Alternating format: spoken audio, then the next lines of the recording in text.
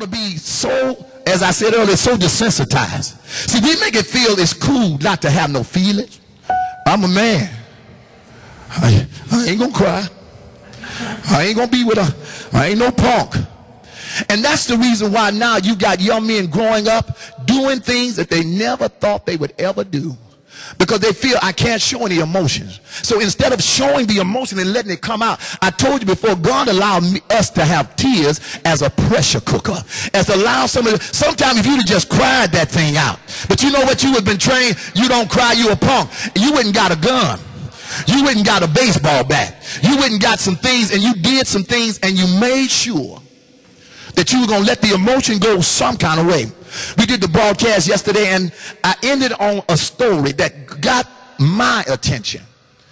I got, it got my attention and I was in the street or the city called Madrid. There was a father and his son and the son's name was Paco. And Paco is a familiar name in Madrid. A lot of kids named Paco. There's a Paco on every block. And the father and Paco got into an argument. And the father kicked Paco out the house. And you know, it was one of them arguments. Sometimes we get an argument, you know, okay, I'll be back next week. You know, I need some money, daddy. Okay, okay. you know you ain't no good, but I'm you still my son. But this argument, Paco left the place that he was in and went to another country. And and and and the father, at least he thought he did, because he hadn't seen his son in so many years. And you know, it's something about a father it's something about a father that really loves his children, that has his children. He might be mad for a while, but there's something about, I'm going to find my son. he didn't know how to find him, so what he did, he went to the local newspaper and he put out an ad. He paid a small fortune and he put the ad on the front, the headlines of the newspaper. Paco, come home. All is forgiven. Dad. And I'm going to meet you at the newspaper at, at the newspaper office at nine o'clock tomorrow morning. And on nine o'clock that next day, they had to have the police for the traffic jam because men were all out in the streets. Men were all out in the way because all the men that were named Paco, whose father had, had a row with their father and been kicked out of the house and wanted their father's forgiveness, was there. There was a singer by the name of Johnny Paycheck. And his real name was Eugene Lytle. And Eugene Lytle could never get a hit to save his life. So he went and started he got with the songwriter and they said, well, would you sing this song for me? And the song was, take this job and shove it. I ain't working here no more. My woman done gone and left me and took everything I've been working for. So just take this job and shove it. And when this song came out, it was supposed to have been a song about a man that was going through a bad relationship. But do you not know that became the anthem for every dissatisfied person, every person that felt like I'm tired of the situation I'm in, I'm tired of what I'm going through, I'm tired of where I'm at, and they made a determination that they began to sing that song. And every time you hear that song, people would just sing that song when they got tired of working. They wouldn't quit their job, but they would just say, take this job and shove it. And the Lord, and again, I have to refer back to what he told me. He said, we've got to get our men in a place where they love what they're called to do. God is giving us as another chance. You know, I'm not here to beat the men up because I thank God for the men. See, it's a, it's a catch 22. I'm speaking to men now that are with their families. I'm speaking to men now that are standing up and being real men. I'm speaking to men now that are here and they're not playing games and they're doing what they got to do. They could have left a long time ago. I'm speaking to men that if the wives be honest and truthful and didn't nobody, you know, wasn't nobody around, they say, I got a good husband. Every one of us got some issues. Every one of us got problems. Matter of fact, some wives in here got some issues and some problems. I didn't want to tell y'all that because I got a, I got a wife. but every one of us, oh Lord, have mercy. But every one of us got some kind of issue.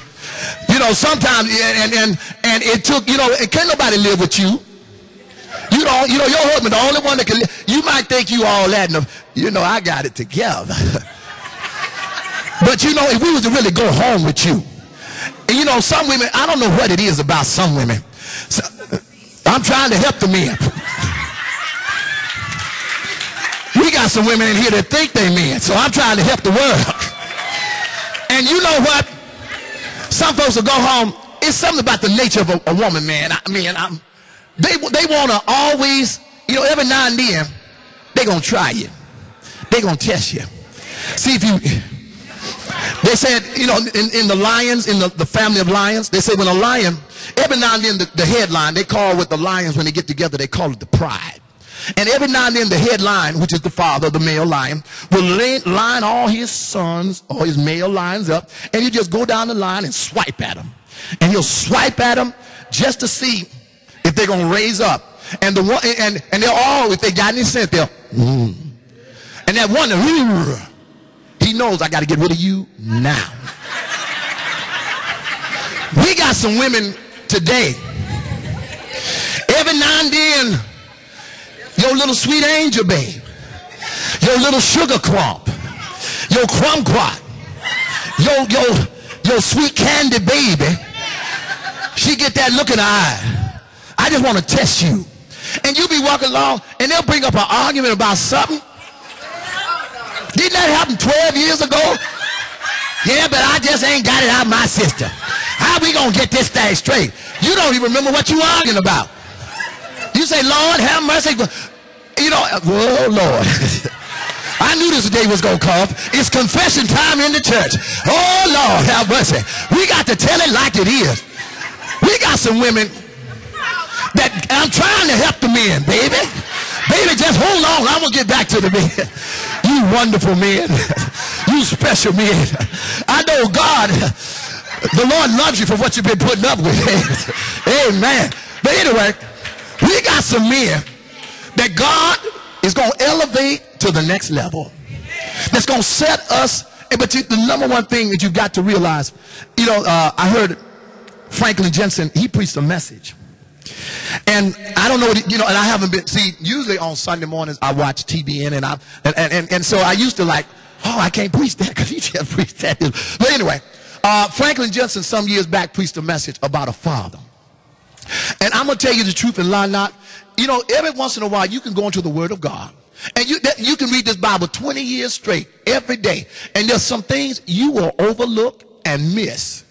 And I, when he preached that message about the Father, he said there was a Father, and I can't remember the name, and I've been looking for the scripture, can't find it to save my life. I'm gonna go back in some more research, but I haven't been able to find it. But the thing that he preached about this Father, he had such an influence on his children that when his children, they said, not only did his children's generation serve the Lord, he said, but for 150 years, every generation that came out of the loins of him and his sons, they walked upright. And every generation gave homage and honor and gave respect to the father that walked upright before God. You know, a child's number one nature, if he's really a child, especially a male child, and you a male, they want to be somewhat like daddy. They want to walk like daddy. They want to talk like daddy. Now, they, you know, they're going to get up and develop their own flavor. They're going to develop their own way of doing things.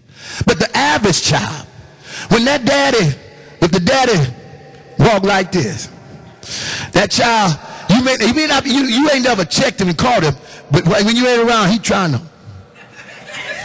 one father said he came in he saw his son. You know, the father wore glasses and had a, you know, went to work every day with a big old briefcase. He said he walked in one day and the son had on his father's glasses and that briefcase could hardly pick it up. And the father didn't, you know, now some father, boy, what you doing? Them glasses cost $500. What you doing with, what you messing with my briefcase for? You know, I got better. But you know that father did? He just went back to, stood back and went to smiling. He said, cause my son, he sees qualities in me that he wants in him. I'm asking every father today because I know we've got so many special things planned in the next few minutes. But I'm asking every father today, let's pick up our pace. Let's up the ante. Let's make the game a little bit more exciting. Let's make the game a little, put a little bit more in the game and we can get a little bit more out it.